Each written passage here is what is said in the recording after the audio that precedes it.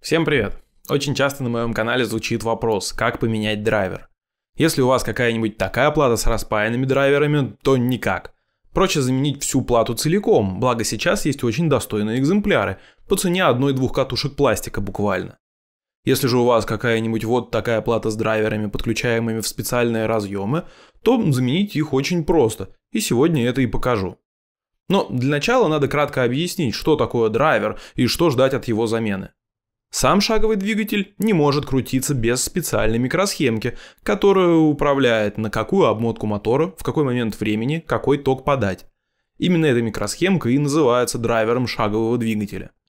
У драйверов есть множество различных характеристик, но я подойду к объяснению с практической точки зрения. Чаще всего на китайских принтерах ставят А4988. Его плюсы в том, что он очень дешевый, меньше доллара в розницу, и неубиваемый при этом, его можно даже и не охлаждать особо, например. Минусы – моторы с ним сильно и противно шумят, что для домашних принтеров очень неприятно. Кроме того, иногда он может дать специфический вид ряби, называемый лососевой кожей. Шум можно снизить демпферами, лососевую кожу можно убрать диодными мостами, но на самом деле проще и эффективнее поменять драйвер на что-нибудь современное. Есть несколько вариантов на замену, и краткое их сравнение вы можете увидеть в табличке на экране. Самый выгодный, как по мне, вариант – это TMC 2209. Они тихие, относительно слабо греются, могут переварить любые моторы обычных 3D принтеров.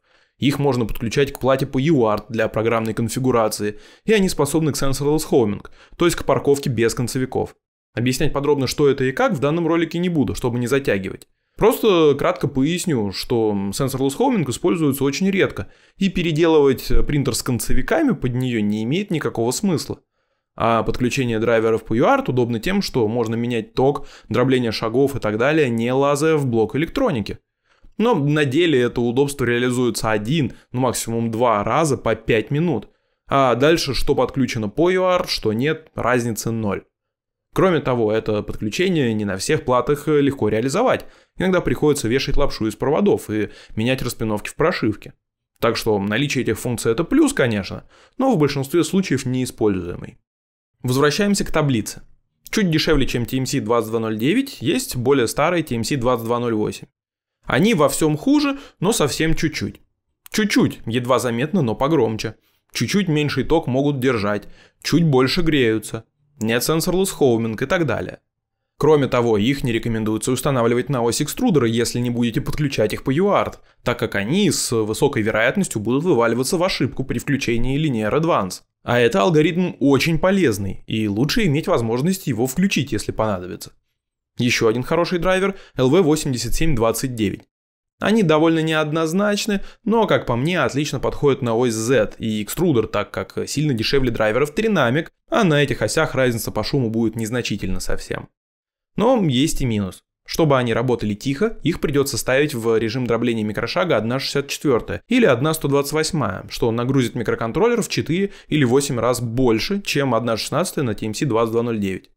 Иными словами, на 32-битных современных платах работают они отлично, а на 8-битных будут вызывать лаги печати. Другие драйверы, например, TMC 200, 2130, 222526, 5160, 5161, S109, ST820 и так далее, либо мало изучены, либо не имеют смысла на подавляющем большинстве принтеров ввиду каких-то своих особенностей, которые я просто вот для краткости отпущу. В итоге вырисовывается два оптимальных варианта, какие драйверы купить. Самый бюджетный вариант это две штуки TMC 2208 на оси X и Y, а на остальные оси LV8729. Такой вариант требователен к мощности микроконтроллера, обязательно нужен производительный 32-битный. Зато за минимум денег получится практически максимальная тишина, плюс работать должно весьма стабильно. Чаще всего я на свои принтеры примерно как-то так драйверы и ставлю. Второй вариант – все TMC 2209. Он хоть и совсем чуть-чуть, но тише. Плюс не грузит микроконтроллер, то есть подходит для любых плат. Плюс хорошие характеристики. Плюс куча функций. Как итог, если хотите и проще, и лучше, то это именно ваш вариант. Ну и, конечно, эти драйверы можно как угодно комбинировать в зависимости от ситуации. Например, на Медведе 5, на который я буду сегодня ставить драйверы, уже стоят две штуки TMC 2208 на X и Y, которые менять смысла ну как-то совсем нет. Так что нужно докупить всего два драйвера. Например, две штуки LV8729, два TMC2209 или даже TMC2208 на OSZ и 2209 на экструдер. Все варианты рабочие. Знаешь, что спросят, а у кого покупать и какие версии, отвечу сразу. Нет разницы, так как все эти драйверы совместимы между собой. Если не планируете их подключать по UART, то берите самые дешевые.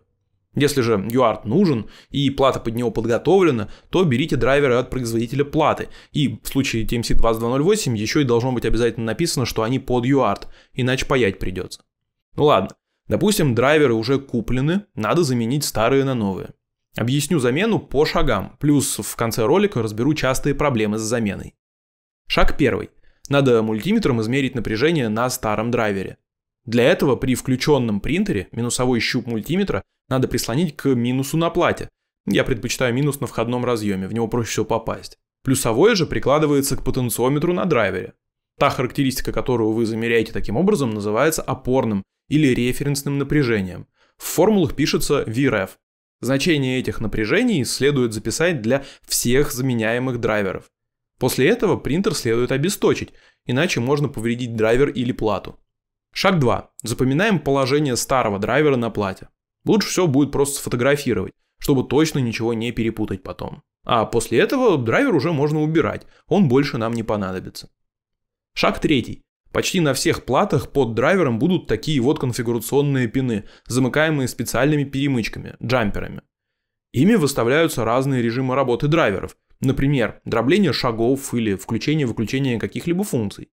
Если вы меняете A4988 а на TMC2208 или 2209, то оставляйте все джамперы под драйвером. Это сохранит дробление шагов в 1.16, что оптимально для почти всех принтеров.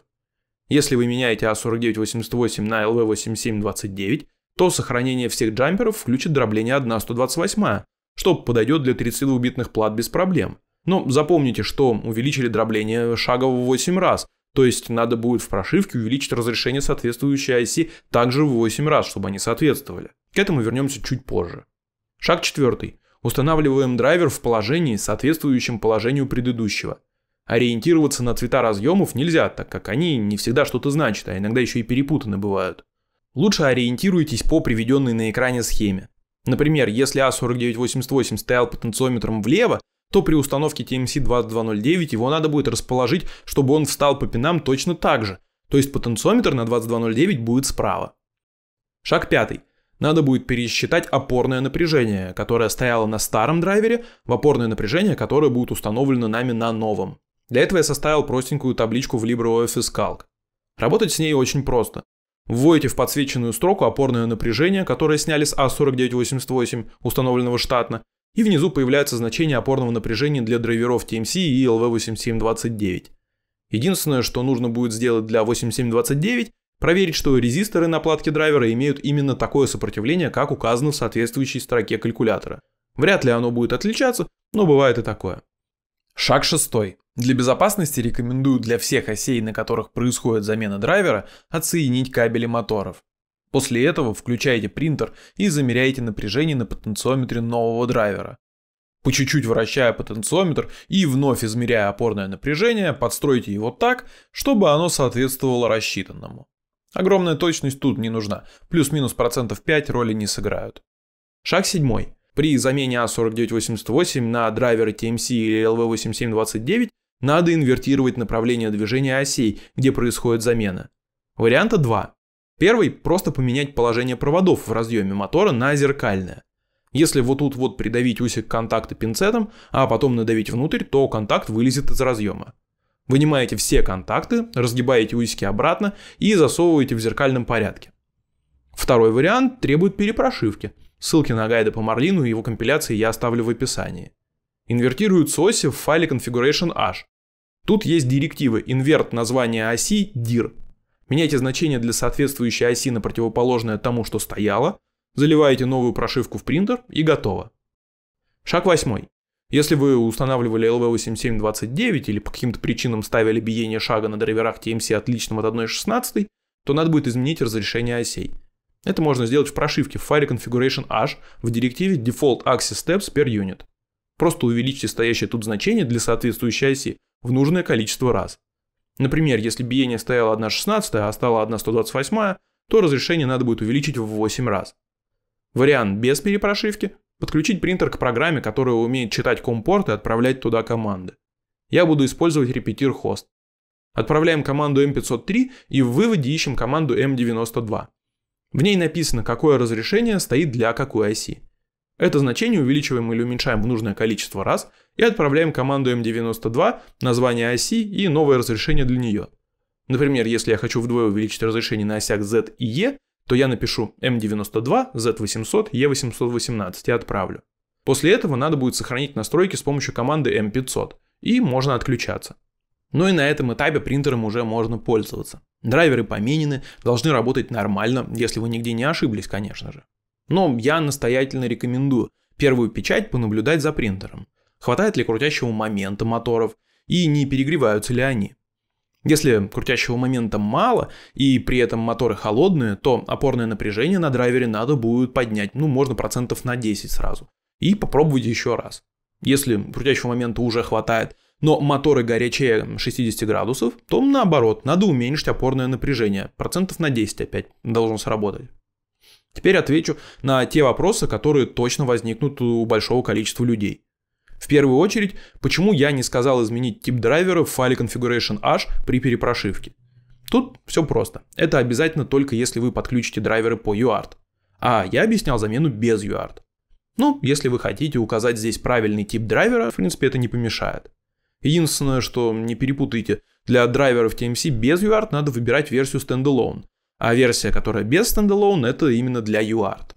Что делать, если вытащил старые драйверы, не посмотрев на их положение? Ну, ничего критичного в такой ситуации нет. Проще всего будет найти владельцев такой же платы, ну, например, в моем телеграм-чатике, и спросить, как ставить. Но можно и самому справиться. Надо будет найти распиновку платы. Обычно их выкладывают в интернете сами производители плат. Тут надо будет посмотреть расположение пинов в разъеме драйвера, потом посмотреть расположение пинов на самом драйвере и поставить так, чтобы все соответствовало друг другу. Что делать, если неизвестно, какой ток был на драйвере до замены, ну или если меняется одновременно еще и мотор на той же оси. Надо будет посмотреть маркировку на моторе и найти по ней его спецификацию. К сожалению, маркировка не всегда есть, и спецификация не всегда в интернет выложена. Но чаще всего найти можно. Тут вас интересует любой ток на обмотку, и RMS или EMAX.